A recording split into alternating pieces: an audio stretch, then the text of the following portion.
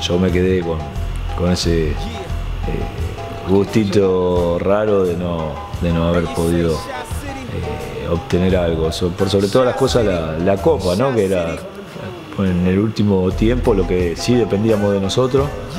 Y, y bueno, después, qué sé yo, es como, es como sentir de algo incompleto, más allá que sí se han logrado eh, este, una nueva clasificación a la Copa Libertadores, cuando vas a, los análisis concretos, eh, ha sido un buen año, pero, pero bueno, uno siempre quiere coronar con, con el tener la chance, aparte de poder ir por todo, que es lo que nos pasó. Peleamos los dos torneos hasta el final, con un plantel corto, eh, haciendo dos jugadores haciendo un esfuerzo extraordinario.